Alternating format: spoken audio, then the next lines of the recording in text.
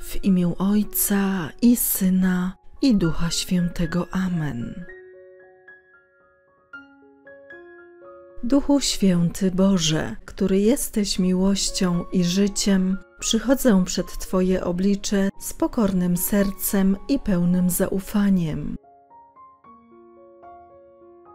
Ty, który zstępujesz na świat jako pocieszyciel i obrońca, napełnij mnie swoją świętą obecnością.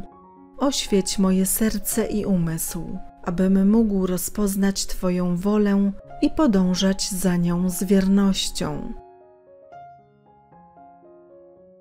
Przyjdź, Duchu Święty, i napełnij mnie swoimi darami mądrości, rozumu, rady, męstwa, wiedzy, pobożności i bojaźni Bożej.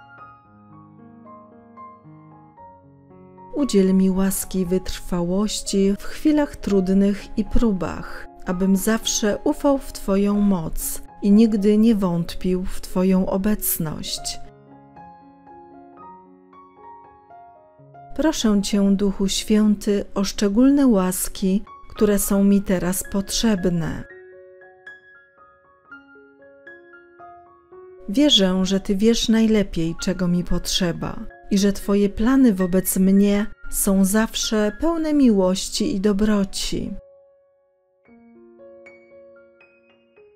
Duchu Święty, napełnij mnie swoją miłością, abym mógł nią dzielić się z innymi, a moje życie niech stanie się świadectwem Twojej wszechmocnej obecności i działania.